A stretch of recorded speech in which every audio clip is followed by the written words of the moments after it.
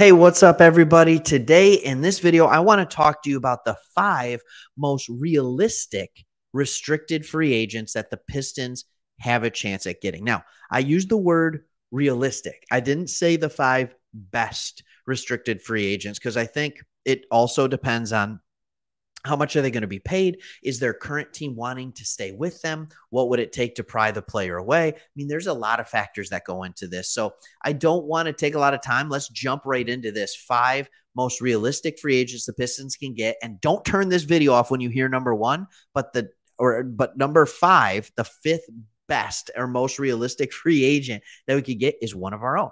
It's Marvin Bagley the third. And like I said, don't turn this off because you're like, no, no, we want other players. Look, I know a lot of people have a love uh, fest with Marvin Bagley. He came into the Pistons, high flying, fun to watch, but he also showed that he's what he's been throughout his career. He just did it a little bit more efficiently here in Detroit.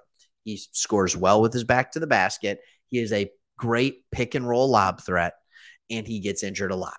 And he doesn't play good defense and he doesn't shoot well. And so I just think there's too many negatives to the positives.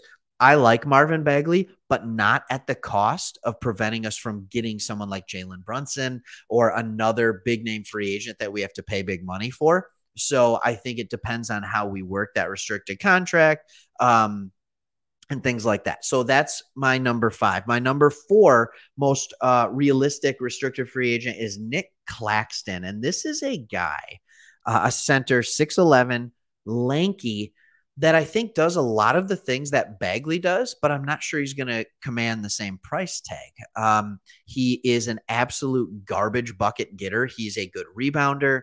Um, he is a good pick and roll threat. He's jumpy. He's lengthy. Um, he does. He's much better defensively than Bagley is. So in many ways, he's an improved version of Bagley. But the dude has no outside game, none.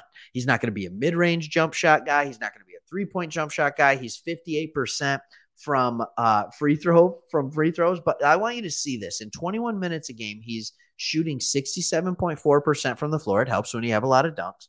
He's only 58% from the line. He's averaging 5.6 boards and 1.1 blocks. When you uh, take that over 30 minutes, the dude is a very good rim protector. And I think with extended time, you could see him really develop into a big that is a good pick and roll threat on the offensive end and really good defensively. He already is good defensively. So I think that's a that could be a good player. All right, number 3, we get into the big names. We start getting into the bigger names and the much bigger contract. Number 3 is Collin Sexton.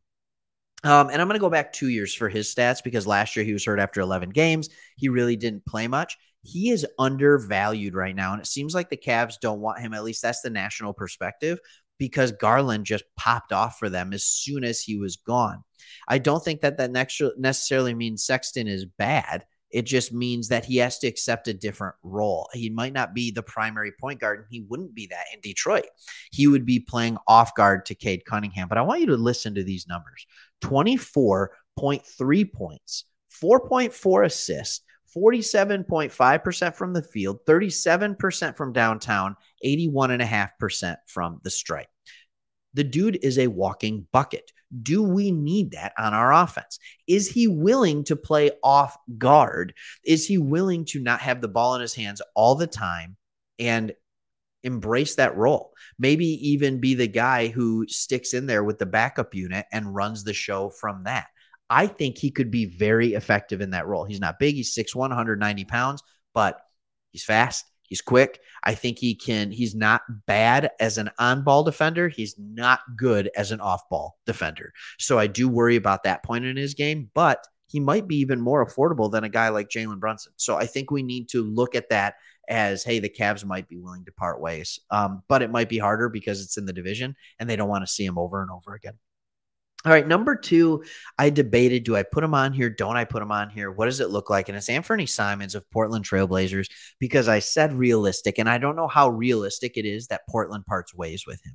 About the only way I could see this happening is we give him a large offer in restricted free agency, and it ends up being a sign and trade with Jerami Grant, helps with the cap room for them. But also uh, gives them a good player in return. And then they can use that eight, number eight pick to get another player that they feel goes well with Lillard.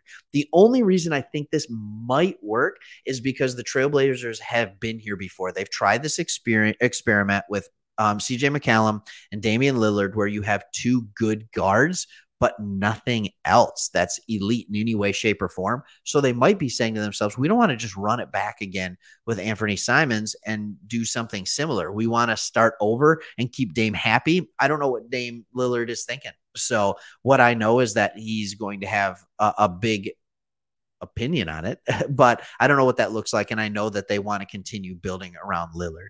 So I put him at number two just because I think he's not as stuck there as everybody might think, just because They've been there, they've done that.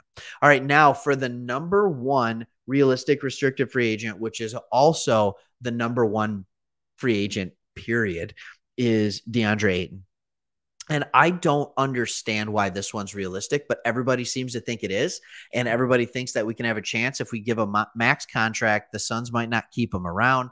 I don't get it. I know they have a ton of money into a few different players. I know Chris Paul, Devin Booker have a ton of money coming their way. I know they paid Bridges, which is interesting to me. I would have much rather paid Ayton, but I think this guy is the truth. And I'm sure I'll do another video at some point just breaking down why Ayton is so unbelievably good. But this is a guy that is 17.2 points a game, 10 boards, 63.5% from the field, um, 36.8% from three on one attempt every three games. So that's not legit.